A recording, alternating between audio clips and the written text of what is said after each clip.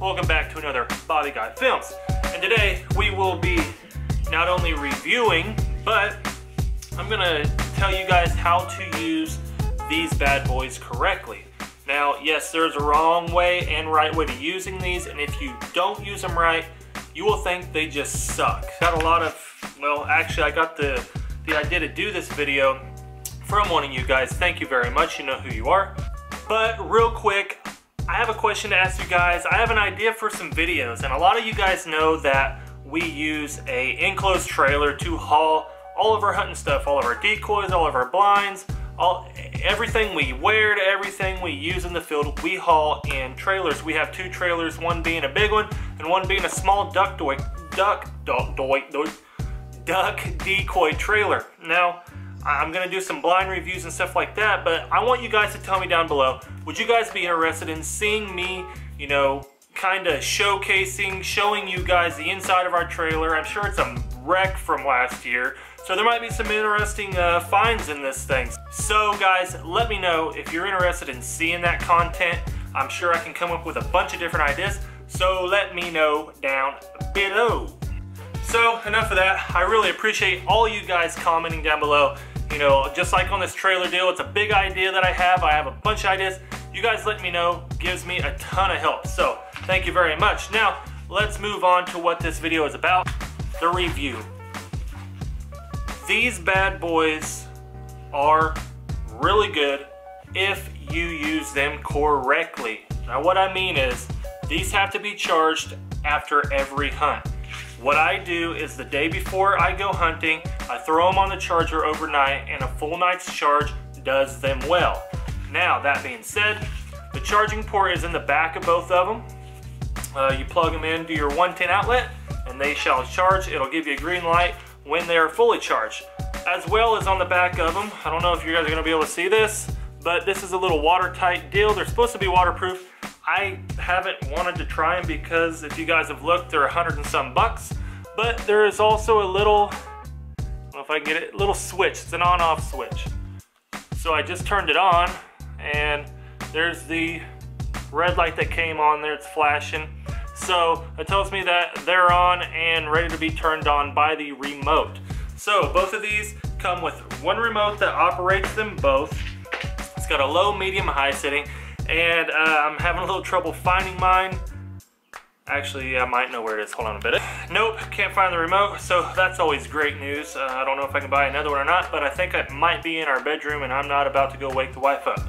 She needs to get that beauty rest, if you know what I'm saying. Not saying you're ugly, babe, by no means.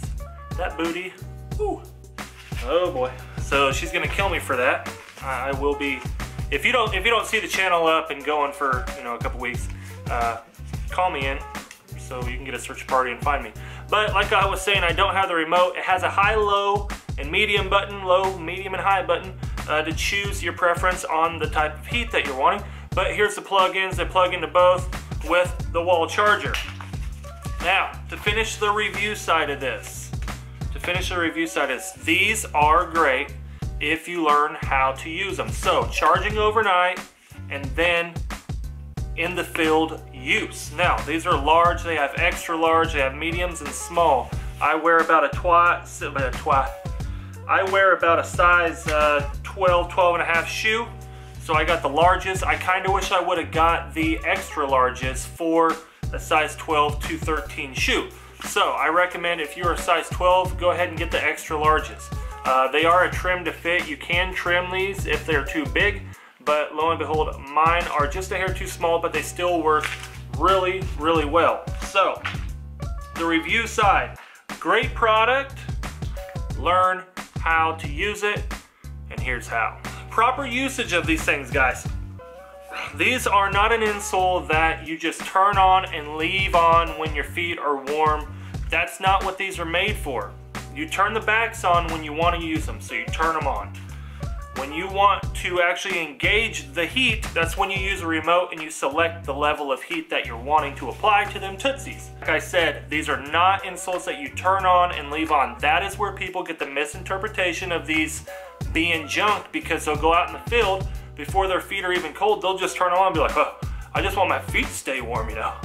and they'll do that and they'll be run dead before, you know, but your feet will end up sweating for one thing, and then they'll get cold by the time they run dead, and now you go try to use them again and your feet are dead cold and they're not gonna work because they're dead. So first off, you'll find once using these a lot, get to the field, don't turn them on.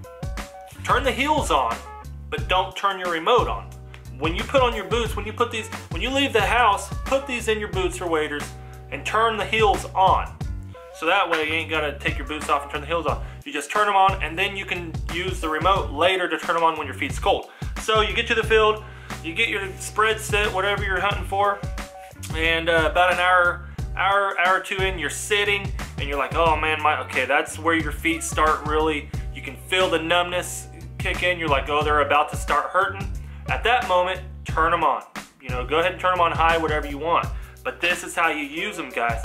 Once you turn them on, right when you feel heat, like you feel heat touching your feet. So you have, you know, numb feet and you're like, oh, I feel something. Turn them off. Immediately turn them off. If you do this, you're gonna get two to three good uses like that, good uses that'll warm your feet back up in that, you know, let's say a six hour morning, eight hour morning. No, they don't last 24 hours or anything like that. You kind of have to baby them, but if you do, they work great. So get the initial just warm feeling, kill them because that, whatever this is made out of, I don't know. I'm not gonna read all this. I probably ought to, but uh, it doesn't even give their material. Patent pending, so whatever. Whatever this is made out of contains heat extremely well.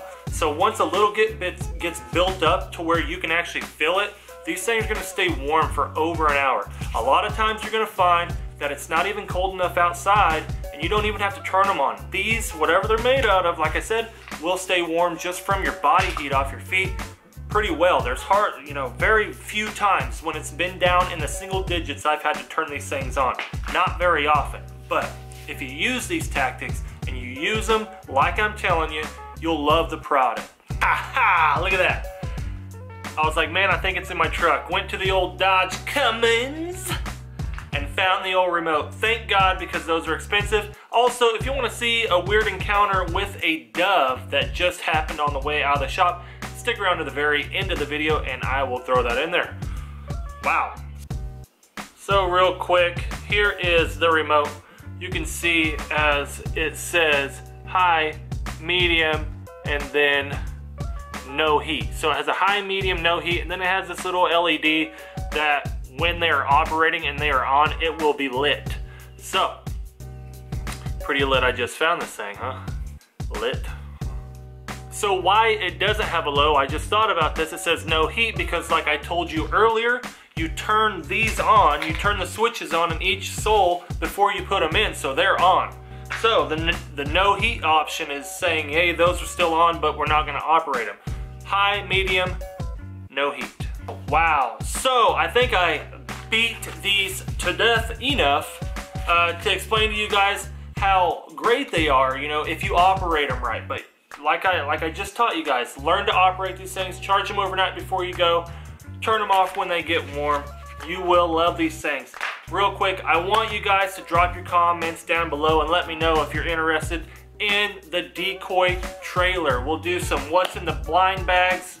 Hell, we got like eight lay down blinds to empty out and see what's in them.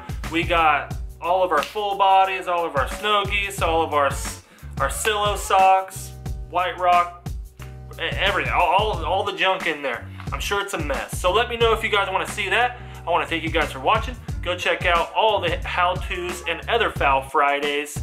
I know this isn't a Fowl Friday, but go check out the playlist Fowl Fridays to find all types of more how-tos and whatnots for waterfowl, duck, goose related. Thank you guys for watching. Subscribe, come on back. Thank you. Peace. Oh.